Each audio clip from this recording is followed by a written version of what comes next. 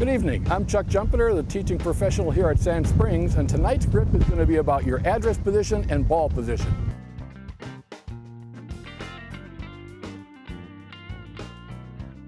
What I've set up here on, the, on my driving mat is three alignment rods. Now you can go buy fancy alignment rods at your local sporting goods store or pick up some driveway markers at a hardware store like I did here.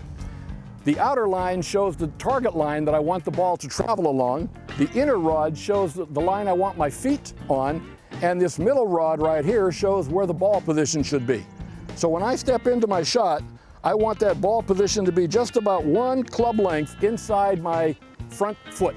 So for a, a right-handed golfer, that's gonna be inside my left heel. For a left-hander, inside the right heel.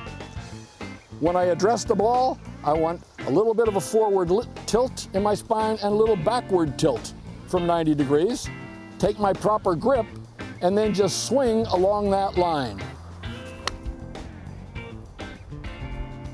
If you use these lines and use these markers every time you practice, you'll improve your alignment, you'll improve your game, you'll lower that handicap. Thank you very much. I'm Chuck Jumpeter.